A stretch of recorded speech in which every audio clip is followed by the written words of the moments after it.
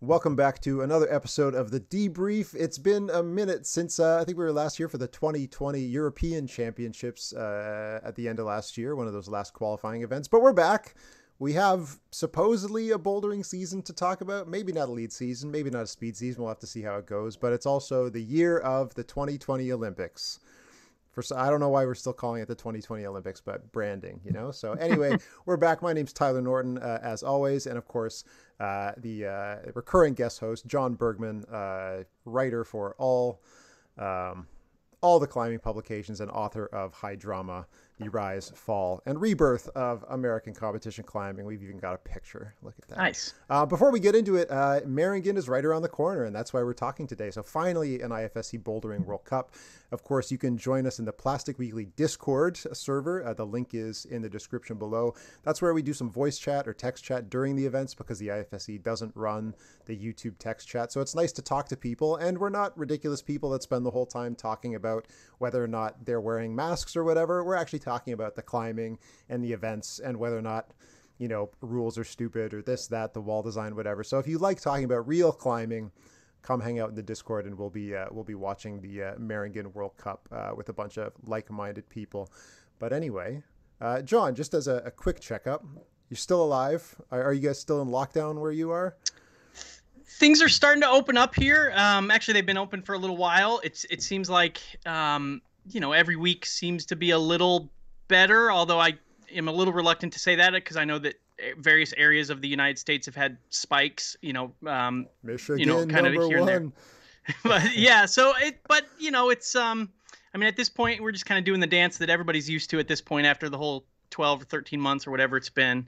Um, but yeah, things are open. So cool. um, we had the the national team trials were a week or so ago for USA Climbing. So comp climbing is is kind of coming back. It seems like. Yeah, so that's cool. Yeah. Well, let's uh, let's think back to a time before contagious diseases. Let's go back to 2019.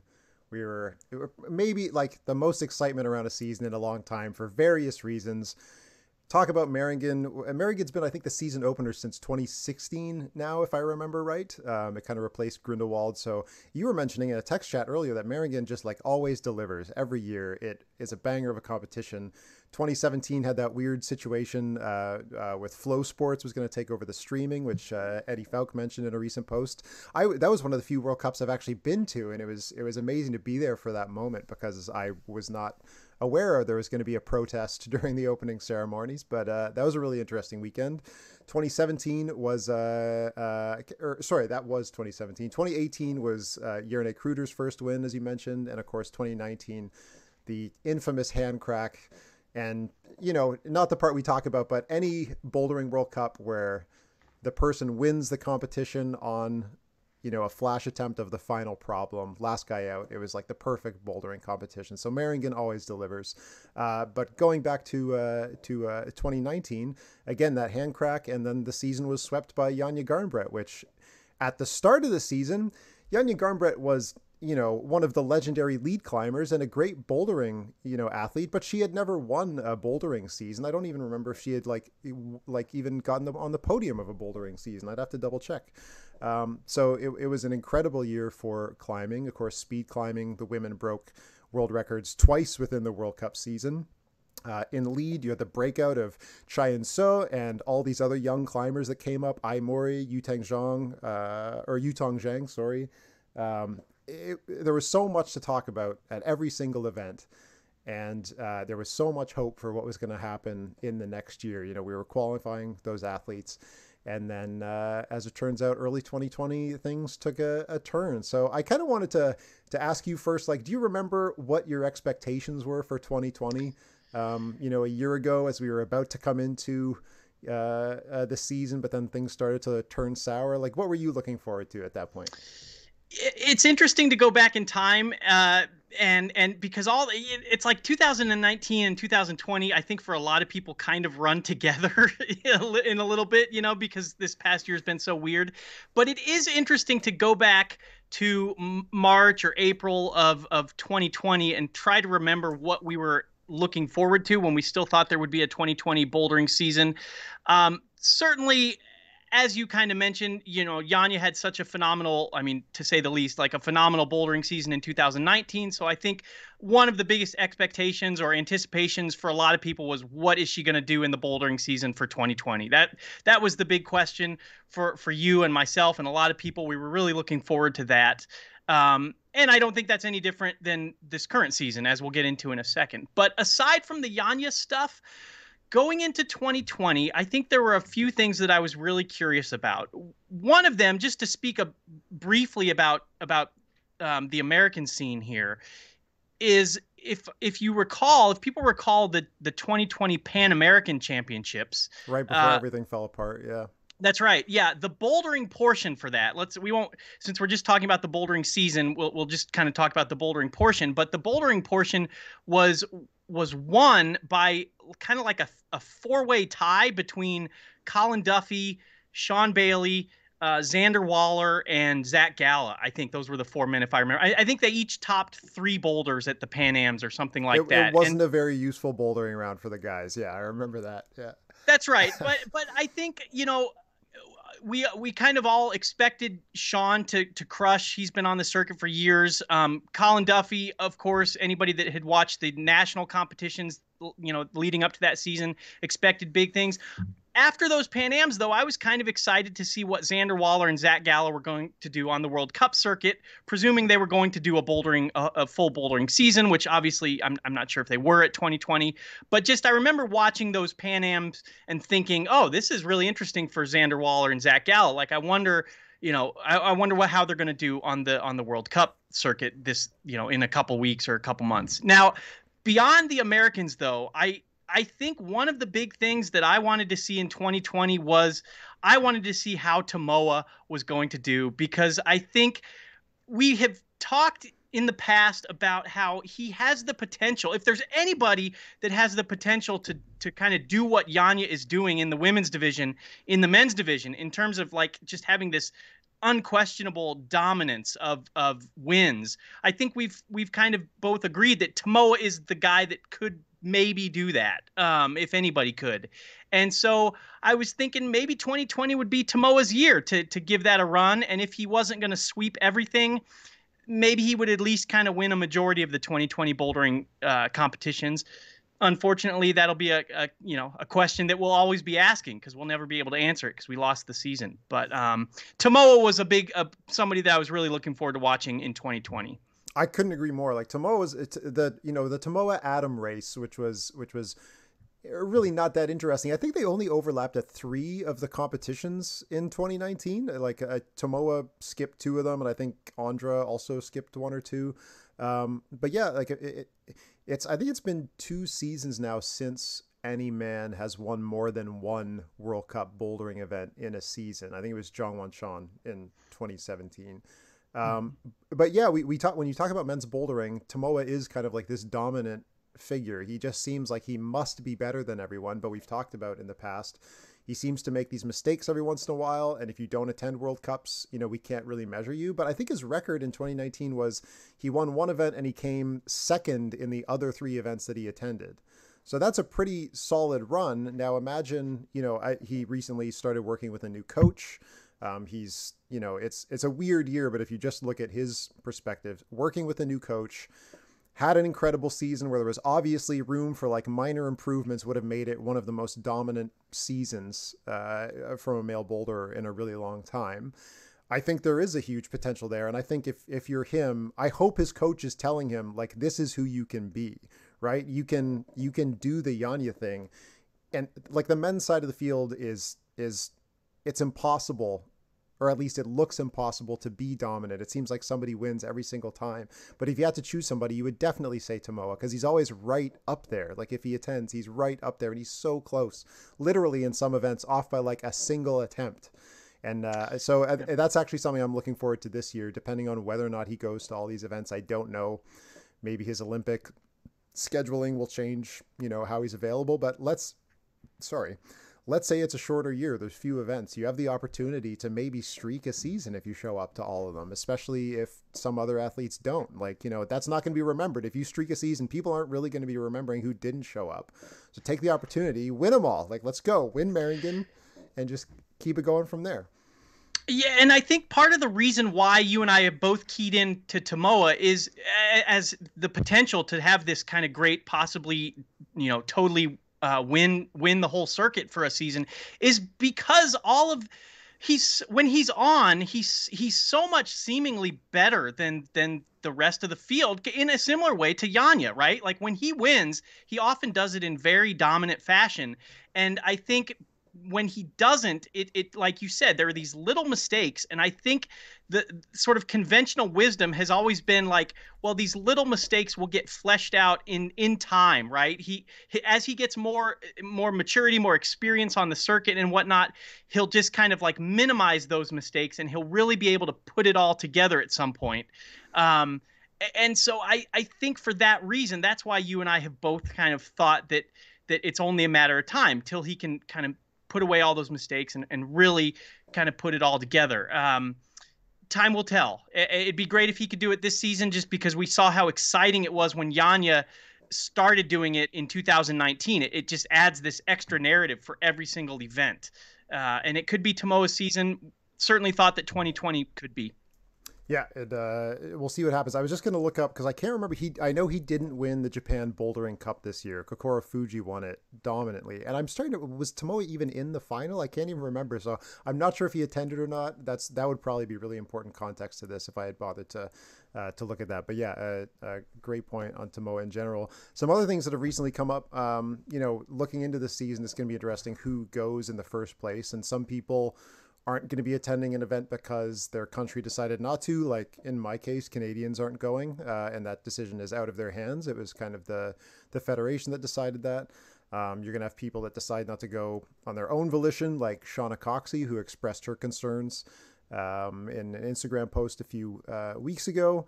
And then uh, Yulia Kaplina I was speaking to earlier, just wondering if we would get to see her at any bouldering events. And some people just aren't attending because it doesn't fit their schedule. Um, uh, she mentioned that she's got a Russian championship that kind of conflicts with this World Cup, so she won't be at Meiringen.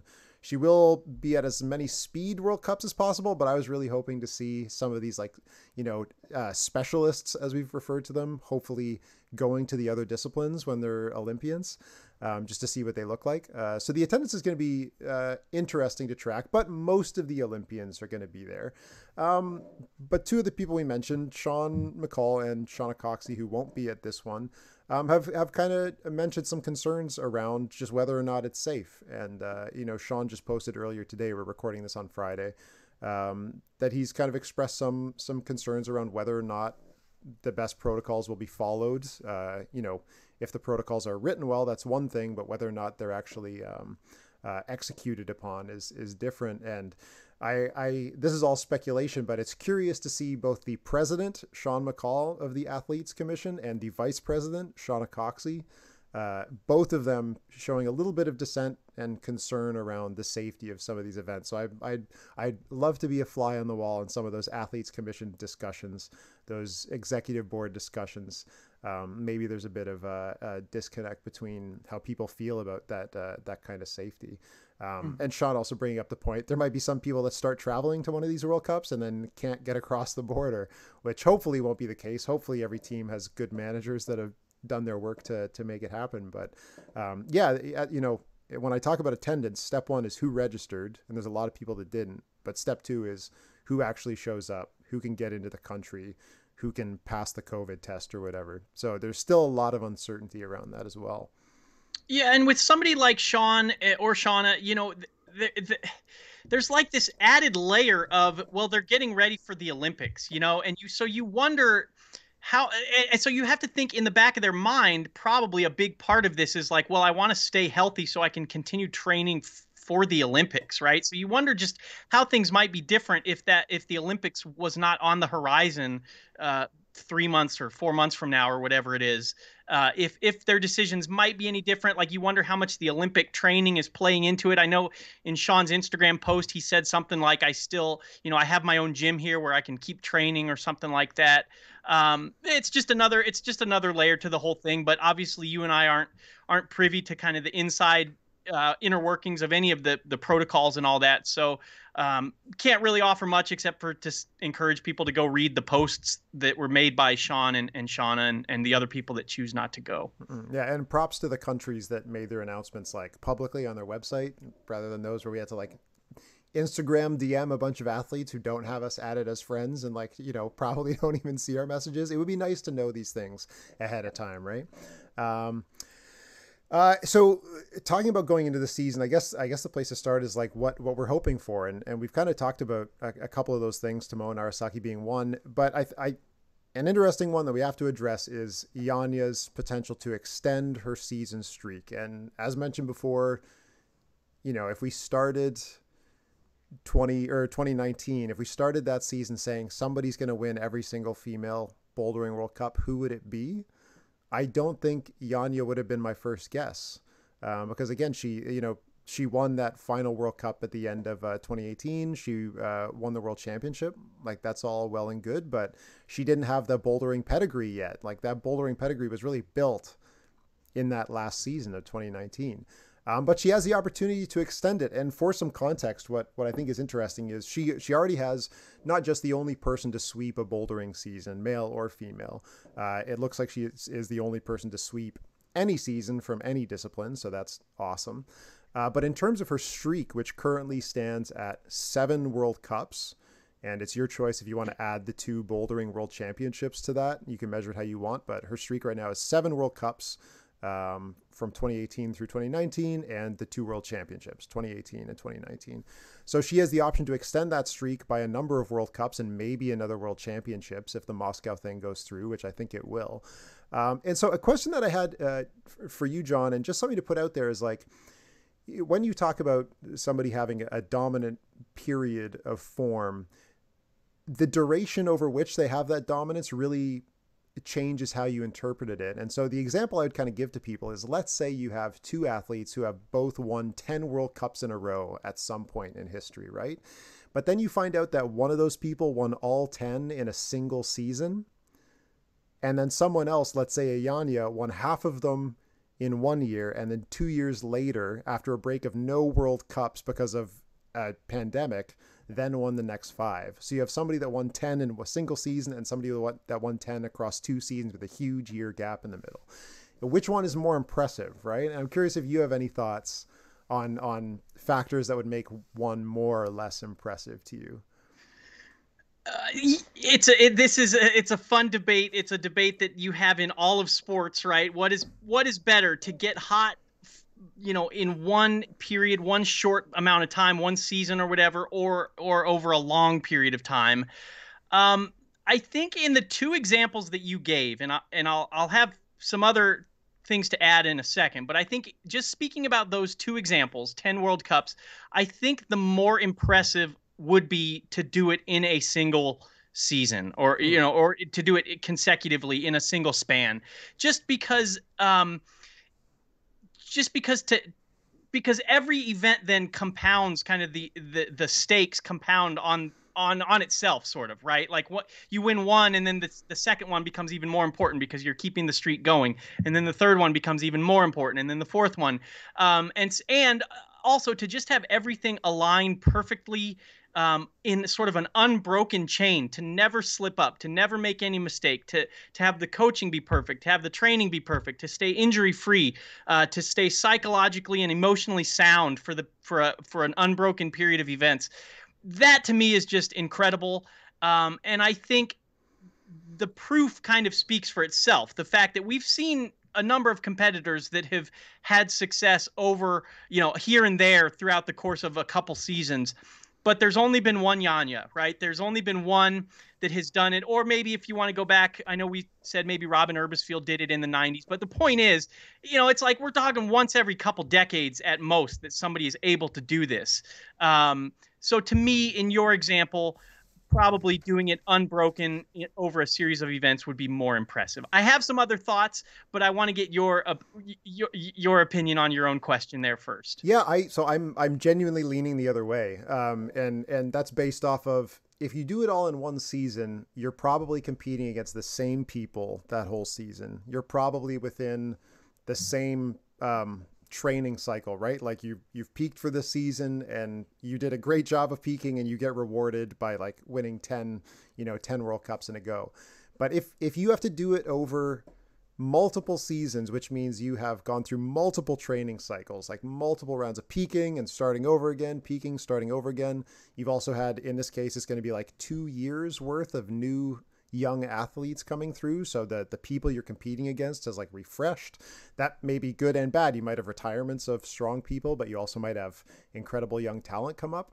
I think it's it's basically saying hey i i will kick anyone's ass at any time of day with any level of preparation. And I, I'm, I'm thinking that is more impressive. I think it's not as cool a spectacle of being able to say like 10 in a year, but it it kind of shows that you've been able to come back and match that peak after time off and all this uncertainty and stuff. And so, you know, the this is a hypothetical question because Janja is already tied with the best streaks in climbing. Like she she only has room to go up. If she wins one more World Cup, she is the only person to ever win eight World Cups in a row. Nobody else has done that. Um, the only other contenders are, are in lead climbing, um, and you mentioned uh, uh, one of them, Robyn Erbesfield Ravatau from '93 to '94. She won seven World Cups in a row. Um, uh, Angie Eiter has done it twice, which is an achievement on her own. She's won seven World Cups in a row, one of those times with an additional two World Championships, which is what Janja has done right now. But again, this was in lead climbing for Angie. Uh, and then Jakob Schubert actually won seven in a row in 2011. So, so she's currently part of that club of seven World Cups in a row. Um, so if she wins Meiringen, that's like that is a, an, another step in history is eight World Cups in a row. Um, she beats everybody on that particular metric at that point. So it is it is just a thing that I think about is you know like if if we if we gave her one more World Cup in um, uh, uh, you know, if, if if she got Meiringen of 2020, I feel like that probably would have been an easier route to the eight win streak than it is now because she's had to like do this multiple times. And i think that makes it harder for her. And and as we'll talk about later the threat of new talent coming up is very real uh, this year. Yeah. so i'm i'm interested to see how that plays out. But those are my ideas. Did you have other uh, other ideas it's, on that front? You know you you actually kind of said what i was going to say. I was eh, what i was going to say is I I think what is greater and what kind of the the whatever you want to say sports media considers greater and all that is the single the single isolated chain of, of wins the single season sweep whatever you want to call it. But to me personally what is more impressive um, is not when you're talking about necessarily the number of World Cup wins, like 10 or something. It's it's the duration. It's how long have they done it. So you compare what is more impressive, winning, you know, seven World Cups or something in in a couple seasons, or even in, in one season, or being near the top or at the top for 10 years, 12 years, 15 years, something like that. And in that case, I actually think we agree on this. I, I think that that is that is more impressive to be consistently at the top um, for for for that long, precisely because if you're talking about 10 years, 12 years, you're talking about you the person winning against their own generation, the competitors of their own generation.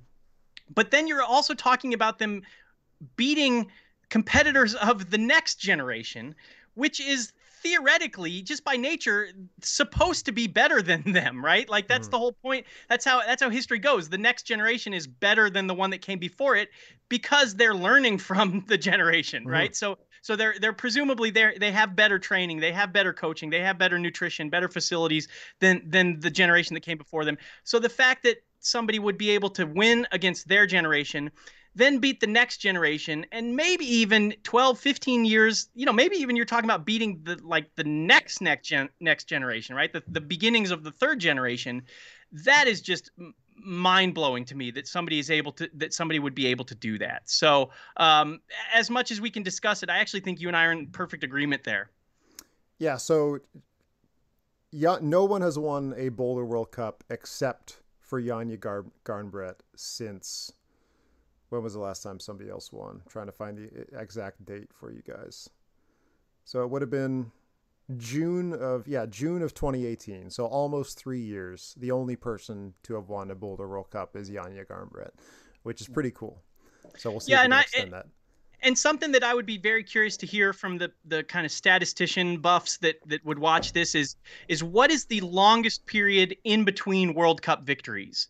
Um, you know, somebody wins and then like wins an event and then three years later, four years later, they win again or something like that. I would be very Even curious with other. World Cups in between. Yes. Oh, that's interesting. I'd, I'd be I'd wonder if, for example, like somebody like Sean McColl, who's been on the circuit for a long time, you know, did he win like five years ago and then he wins one this season or something? Like, Mhm. what is the biggest span of years in between two victories? That'd be that'd be fascinating to me because that plays into exactly what we're talking about about beating people from you know multiple generations potentially. I'm wondering if it's. I'm wondering if. Um, I'll look it up for you. I'll try and find it out. And I'm. I'm really wondering if it's going to be obvious once I find it. I'm like, who. Who could that possibly be? Be that would have a have an unusual win. I've got some ideas off the top of my head, but I don't know for sure. I it might correlate with like some of the older athletes on the scene. I feel like it, if you find a really big streak, but yeah. So anyway, the Yanni thing's interesting. Uh, the other thing I'm curious about is we saw, you know, a couple breakout names in the Boulder season last year, uh, but then they like really broke out in the lead season. So like a Chayan um, uh, uh, Natsuki Tanii, all these people that, that were really killing it in the second half of the season. There's a lot of people just from one discipline or another who I would love to see what form they're in uh, in in bouldering now. Um, unfortunately, like the the one I, I would love to see is Ai Mori, who you know had a had a, a, really good breakout season in bouldering in 2019. It wasn't it wasn't and so level, but she came out of nowhere and and I'm pretty sure earned a medal if I remember right. Um, she will not be at Meiringen, unfortunately, so it's like kind of a, a moot point um, right now. But that's the that's kind of the other big story that I'm interested in is are we going to see another year like 2019, which seemed so special by itself in terms of new athletes? Like I kind of looked back at the number of athletes in recent seasons that were in their like first year of eligibility that came on and did damage. There's honestly not that many of them. Like you, you look at even like Janja's breakout season in 2015 uh, where she finished the like she finished in the in the lead rankings in seventh place across the whole season. She earned a second, a second, and a third. She didn't win any events if I remember right, and she only competed in lead.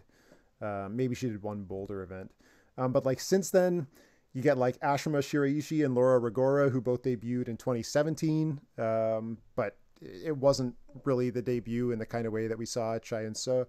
Um, Futaba Ito in 2018. Again, I think she had one particular good event uh, in bouldering, but that was kind of it. Um, but then in 2019, it was freaking crazy, man. It was it was these th- these four, particularly these four uh, young women from Asia who just like knocked the socks off everybody. And mm-hmm. the question is like, can we do it again? Because this year we're going to have athletes born in 2004 for the first time who should have debuted last season um, some of whom did in Briançon, but that's kind of a forgotten competition. Um, and then, of course, 2005 as well. Um, and it, it's it's easy. It's interesting to like. Let's not forget that we have lost a whole year, right? And that's a long, long time for a competitor to be in peak performance. Like it's it, it almost mentally when we're thinking about it, it's almost like, well, Janja did it, and so we'll see if she can do it again. It's like, no, well, she did it like two years ago. That is a long, long time, and and to to be able to j- not just do it again, but to skip a year and do it again. I mean that that just underscores like the extra difficulty that she would be facing if she's going to try and sweep the bouldering circuit again. Um, the the lost year in there.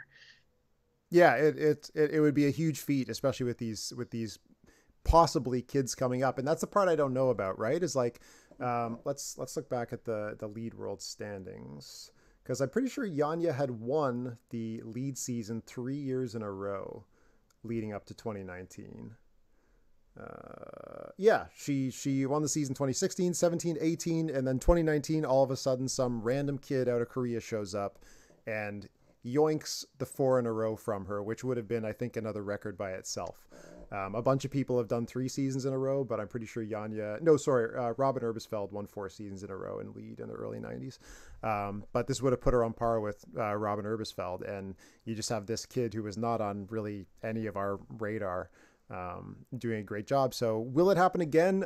I would generally say no. I, I do think 2019 was an outlier um, because we haven't really seen those many breakout climbers all at once before. But the the part I can't really speculate on, although it's possible, is it might be the start of a new trend, right? It may be that climbing has just hit that year where the kids, you know, that came up in one of those first couple waves of bouldering or climbing or whatever are now hitting the age of being competitive. Uh, you know, the kids born in the early 2000s um, or mid 2000s. So you're looking at all of these gyms that were open in the 2010s or whatever. That's probably when they started climbing. That all starts to line up, and you say, yeah, we might be hitting like the super cohort of climbers. Maybe there's maybe it's the it's the new change. Like I, I in um, uh, that video I did recently on the the average age of climbers, the one big outlier was in in female lead climbing, where the average age of semifinalists plummeted uh, because of these climbers that we're talking about. Um, and it might be a blip, or maybe it's the new normal, and we just got a sneak preview of it in 2019. Uh, I was kind of looking through World Championship results for for youth climbers, which I normally don't do. Like I don't really yeah, when when a new climber bursts onto the scene at 16 in the Open World Cups, they've probably done pretty well at Youth World Championships, but it's like a single event once a year. It's only within your age group, so it's kind of hard to like predict whether or not an athlete who did a great job at like the Youth B Bouldering World Championships, whether or not they're going to be relevant on the World Cup season. But I decided to take a look just because of uh, of this situation, and there's a couple names who I'm sure will attend some of these World Cups. A lot of them are not attending because, you know, COVID's a, a mess. But the one that's interesting, partially because A, she is going to be at Meiringen, and B, because she like only wins youth competitions. She doesn't, she came second once. That was her worst IFSC event on record, was a second place. Um, and that's Oriane uh, Bertone. I'm pronouncing it Bertone. It might be wrong. She's from France. Um, and she just wins events, man. Uh, she's on the French national team now. She's registered for Meiringen, and she's the only one that I would say um, maybe could look like somebody who uh, who makes a finals. Um, I would never say I expect somebody to win on their their first World Cup, uh, considering who's going to be there, but maybe she's kind of the the rebirth of like very serious French bouldering. Um, after Fanny Gibert's been hacking away at it kind of by herself for a little bit, uh, maybe this is the the next person to come up. And again, born in 2005. Yeah, yeah, that, it's that's the big question, right? Is how how smoothly will success on the youth circuit translate to the adult circuit? Um, it, it, history would tell us that it usually takes a year or two or, or more for, for the competitors who have been successful on the youth circuit to to kind of find their footing, no pun intended, um, and and really perform at their level. I mean, even just the other day I was watching a World Cup from uh, I think it was like 2015, and and it, Miho was climbing and Tomoa was climbing too, and it was just interesting to watch them both kind of like struggling on these boulders and yeah. stuff. As as I mean they look they were adults, but they looked like you know, or they were in the adult division, but they still looked like kids. Yeah, they were um, only like two years into it at that point or something. Yeah, and they were not, you know, they were coming into it with 2020 eyes, and you expect them to just crush everything, and and they, you know they weren't. They were they were kind of um, still getting used to the adult setting and and and presumably the magnitude of the events. And and just they were still kind of growing up. And and so you it's unlikely that a competitor would rock through the youth scene and then rock you know immediately rock through the adult scene too.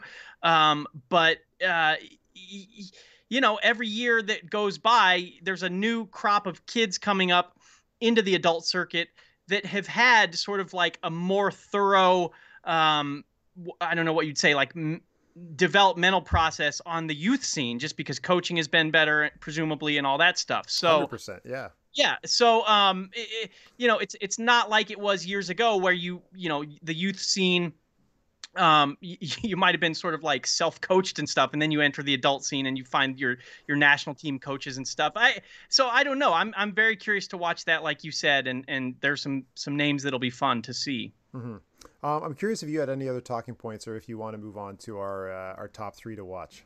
Well, the only thing I'll add about the Janja thing is is it's interesting to to to speculate also, and nobody can answer this except for Janja, and I don't even know if Janja would be able to answer it. But was was to what effect uh, sweeping the bouldering scene maybe had on her lead season and her lead performance in terms of just the, added expectations from everybody, the, maybe even the added sort of expect expectations on herself. I don't know.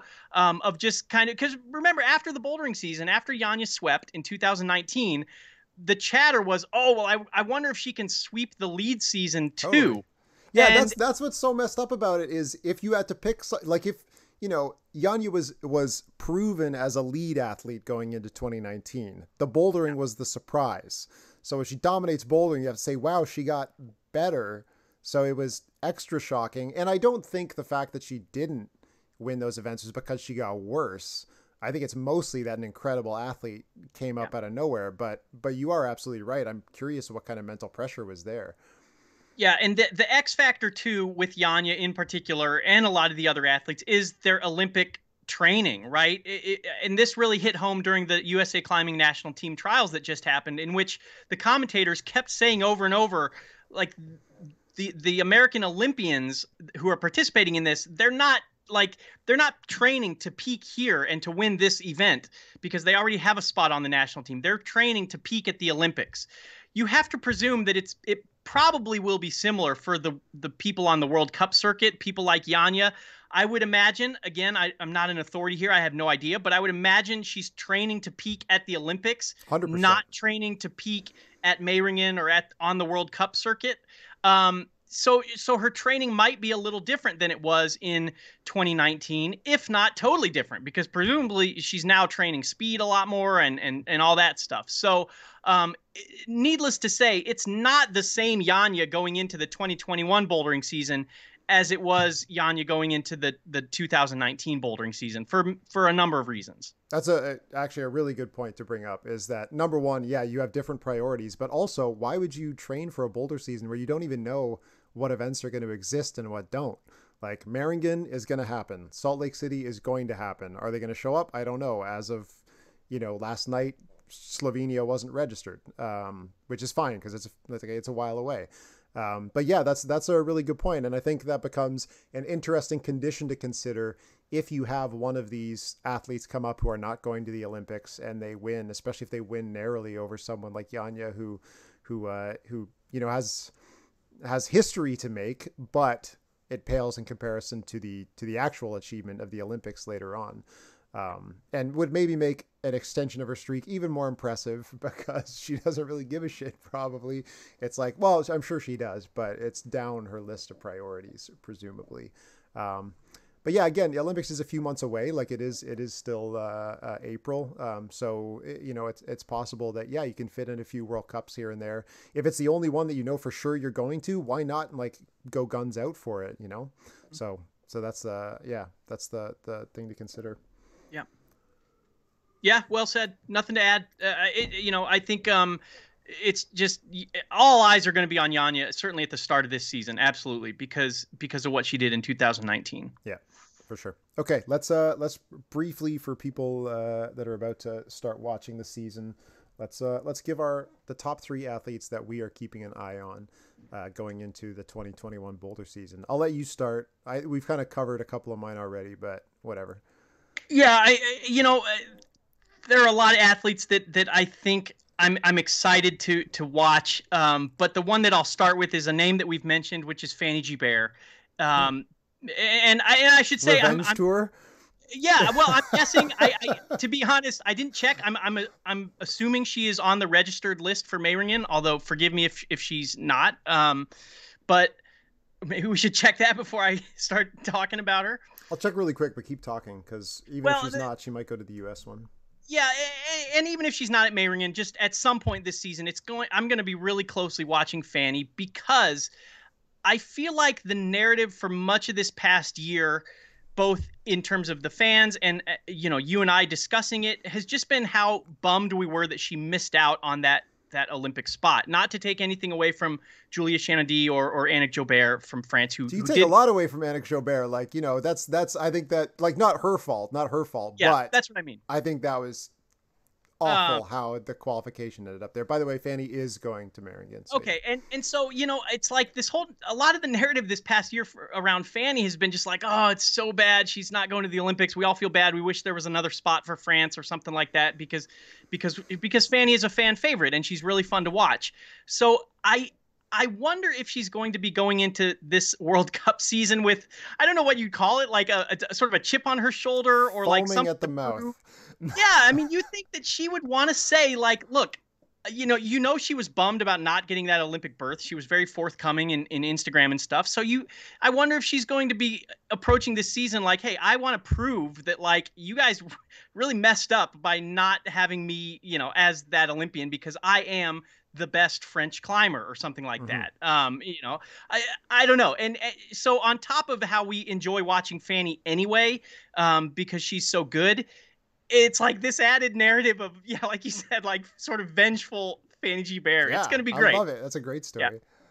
Yeah. So add uh, add Stashigeo to that one. That's just mm. going to be the the one two punch. Just you know, no mercy duo. Just absolutely yeah. slaughtering. Yeah. Who else? Uh, another one I was gonna say was Petra Klingler, um, huh. and because here's why Petra isn't. She's a fascinating case to think about because we know she can be the best in the world, as evidenced by she won the 2016, I think, uh, World Championships in yeah. bouldering, right? So, so she's capable of being the best of the best. And yet, if you look back at her her past seasons, it it kind of feels like we like we never get a clear sense of exactly where she has stood since 2016. Um, the examples I wrote down was you look at 2018 as an ex- as an example season. She gets fourth in Moscow, then 13th in Meiringen. Uh, so very like you know up and down. And then she's not at Chongqing, she's not at Tai'an, she's not at Hachioji, she's not at Vail. Um, I, I, don't remember if it was an injury. I'm, I'm guessing maybe there was some sort of injury there. Yeah, but think... the, you know, the point is, it's like she starts off and then she kind of, and then she, and then she just, you know, doesn't finish the circuit, unfortunately. And then you look at 2019, fifth in Meiringen, eighth in Moscow, fourth in Chongqing, 10 in Wujiang. So again, it's kind of like a little bit of up and down. And then she's not at Munich and she's not at Vail. Um, so it's kind of a, unfortunately a, a, sort of a repeat dance that we've seen. Uh, and then she injured her shoulder at the European Championships just like uh, in November 2020. Uh, so like you know she can be the best, and yet she's had these unfortunate circumstances and unfortunately we've been robbed of of seeing and she's been robbed of performing but we've been robbed of just kind of seeing like how she is since 2016 under like a full season circumstances. So I, i'm really curious. I hope she stays healthy. She's of course really fun to watch. Um, so I'll, I'll i'll be curious. I'll be watching her.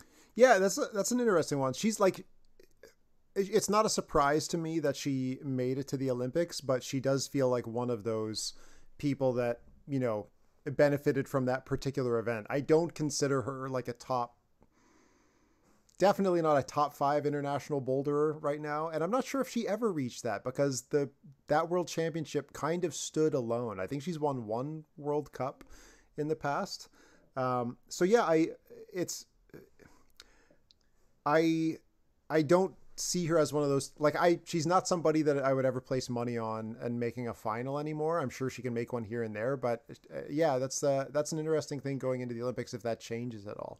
Yeah, and that's precisely my point because I think the same way. I'm like, well, I don't know if I would consider her a top 5, but then I analyze it and I think, well, I wonder if the reason I I think that way is because she hasn't done a full circuit. You know, she because she does kind of have these start and stop uh, seasons, unfortunately. So, um, I, you know, I, I don't know. I, I don't know what to say. I'm at a loss for words other than I'm just really interested in seeing her. And I, it's like, I just hope we have a full Petra season. I just want to see her stay healthy for a full season to see, to see if maybe you and I are wrong. Like maybe we should mm-hmm. be thinking of her in a top five. And, you know, we've just unfortunate circumstances haven't allowed us to do that. Yeah. Yeah. That's totally fair. And yeah. who's your third? My third would be a it's it's kind of a, a duo between uh, Mia Krampl and Luka Rakovec because oh, cool. um, they, you know, they established this fascinating rivalry that was kind of in place anyway, but it really solidified when they were both kind of vying for that other Slovenian Olympic spot. Um, and there's been some added press around it. I know here in the states, Ari Schneider uh, wrote a piece for the New York Times about their like friendship slash rivalry and stuff. Great piece. Um, and and I started to look at their results, and it's it's like it's interesting that Mia got the Olympic berth, and yet if you look at the the bouldering results, at least for 2019, I think Luca actually kind of had the edge. Um, eh, Meiringen 2019, Luca is 16th, Mia's 29th. Uh, Moscow 2019, Luca is fourth, Mia is again 29th. Munich 2019, Luca is eighth, and Mia is fourth. So in that last one, Mia actually kind of came out on top. But the point is, there, there's just kind of like this like jockeying for who's who's better between the two of them. And again, the fact that they're both friends makes it makes it uh, extra fun and and so I'm just real curious to see how that rivalry plays out this season which of them kind of comes out uh, uh, having the better bowling season after after all is said and done cool I, I thought we were going to overlap a lot on our choices, but uh, but we didn't at all, as it I, turns out. So cool, yeah. So anyway, I, my first one, which I don't think we've talked about yet, is uh, Akiyo Noguchi, um, one of the greatest competition climbers to ever live. Incredibly long career. Um, I mean, she's she's basically won a minimum of three Boulder World Cup medals every single year since 2007. Like, what is that about? That's that's wild. Nobody matches that. It's a debate whether or not she's the greatest boulder, like female boulderer, uh, f- female competition boulder in history. I personally don't think so, but she is certainly probably top three, uh, and and has an incredible career. Um, and I think we'd all agree that this is probably her last season of competition. Um, we've kind of heard uh, murmurs that she might retire after the Olympics, so this might be it. Uh, her final chance to like extend that legacy, uh, maybe snag another win. Um, uh, so kind of looking forward to see how she goes out. Um, see if there's much yeah. success. Um, the other one is Tomoa Narasaki that we already talked about. I think he has a lot of opportunity this year, if only because you know the winds are just blowing in a particular way where things could come together to make an interesting season for him. Um, maybe not, but I'll always have hope that Tomoa will one day have like an incredible, really like a season that shows how dominant he really is with his talent. Um, somehow his talent all got soaked up in you know breaking the bait on the speed wall instead of being an unreal boulder. So I feel like he's a little bit misdirected recently. The one I was gonna put in, but I, am not going to because she's not in Meiringen, is Ai Mori. Um, I think she has the potential to be that. Um, like if Akiyo's heading out, Ai Mori's coming in, and Janja's had her like five years or whatever of being the young gun. That's over. Ai Mori should be an amazing boulderer based on the performances we've seen out of the Japan Boulder Cup and some other events. Um, I would love it if she ended up being that that incredible like leading female Japanese boulderer. I don't know what's gonna what's gonna go on with Miho, but um, you know she's had an injury in the past um, and and she's not the like the youngest kid on the scene anymore. So I hope Ai Mori is coming in to fill uh, Kyo's shoes. But again, she's not at the event. So instead, I'm going to say uh, who I mentioned before, Oriane uh, Bertone from uh, France. Um, I think if she attends more than one World Cup, I'd be interested to see how it turns out. Um, I try not to judge people off single events, so Meiringen can go however it wants. She's never done a World Cup before, so Not going to be too hard on her if it's a tough one, but her youth record is sublime. And uh, I, I think if you had to if you had to place a bet on a youth climber, I think she'd be the one that you uh, that you put money on because everyone else is um, a little bit unproven. Whereas Oriane has shown that she is absolutely the best female climber in Europe in her particular age group, which again is super narrow uh, um, narrow field to compete against, but she dominates it. So um, yeah. yeah, anything can happen. I mean, the, the, it, we need to look no further than Meiringen 2019 with uh, Oceania Mackenzie kind of coming, you know, coming out of nowhere, seemingly making a finals and stuff. So, um, those are all stellar picks. I it's interesting that you mentioned like so many people from Team Japan because it if we rewind back to 2019 it was the same kind of thing where we were expecting like oh it's only a matter of time till somebody on team japan uh, you know overtakes Janja for that top spot at one of these bouldering events. Because if you'll recall it was like I think Mao Nakamura was in the fine close to winning at one point and I think Futaba Ito was close to winning at one point. Um, and and if anything I we haven't had any indication in this pandemic uh, year that, that that that there's any less of an assembly line of just Japan crushers coming up. If you if people watch the Japan Cup it seems like they're just even more and more. So um, you know, I, yeah, I don't know. If you're Janja, you, you wonder though if that's going to maybe give her some extra motivation to know that you know everybody's going to be kind of watching her. A lot of young people are going to be gunning for her because she, Janja is to the point where she's she's got this iconic status where it's one thing to win a World Cup, but it's another thing like to beat Janja to win a World Cup, right? Oh, like that's yeah. kind of what we developed. That's kind of what we saw with Cheon So in in uh, in the 2019 lead season. It's it's like it's it's almost just this added story to anything to any victory. It's like you didn't just win a World Cup; you won by beating Janja, who many people consider to be the the greatest of all time. Yeah. Um.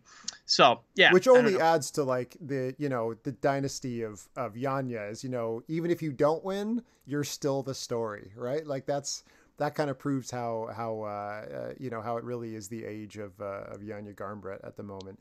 Um, but yeah. Yeah. I think I think the the Japanese team should look back at last season and say, oh, we only won a single bouldering gold medal in 2019 aren't we supposed to be like the you know who has all the hype? It's team slovenia and team japan. Japan has done a better job of showing off that talent. I think their route setting uh, probably has more influence uh, on the scene right now and I, I don't know if that's just because of the particular route setters that they have going on in the circuit or if literally their social media is just better which is certainly possible because that's basically what all climbing media is now is just like who's got the most popular instagram accounts or whatnot. But japan should be one of the dominant countries on uh, on the bouldering scene, and they only got a single gold medal out of it last season. They should be um, fighting for more than that. I think that's a disappointment on their part. Uh, so I, I think it makes sense that that uh, Japanese athletes should be the ones to watch uh, for the Yep. most part. But yeah. Yep. So yeah, that's kind of my outlook. Uh, Meiringen is going down this coming weekend. Uh, we are going to be watching uh, from the Discord. I think I'll be waking up god awful early to uh, to watch semifinals. Although my sleep schedule is just bad in general, so it probably doesn't matter. It's just like give it all up. I've got nothing to get to. I've got no haircut scheduled in the next week, unfortunately. Um, we we at some point we have to do a John Burgman head turn so we can find out exactly how much hair is back. Oh yeah, it's it's long. It's it's uh it's pretty pretty heinous. yeah all right um, so yeah if you're if you're planning on watching live uh, join us in the discord. The link is down below. Um, we'll be doing it in voice chat if you're into that thing. And there's also the text channel if you uh, if you don't have a microphone or if you don't want to hear what uh, uh, if you don't want others to hear what's going on in uh, in your house around you. Um, as always thanks to the people that support us on patreon especially to the g5 so thanks for your support. Uh, if you want to get stickers like like this big boy, um, yeah, you can uh, you can send us some money. Uh, you can ask uh, your own questions on these shows, all that kind of stuff. Uh, and of course, make sure you uh, follow or subscribe to this channel. Give this video a like, leave a comment if you're interested, uh, and we will see you guys in just about a week after Meiringen in the next debrief. See you guys then.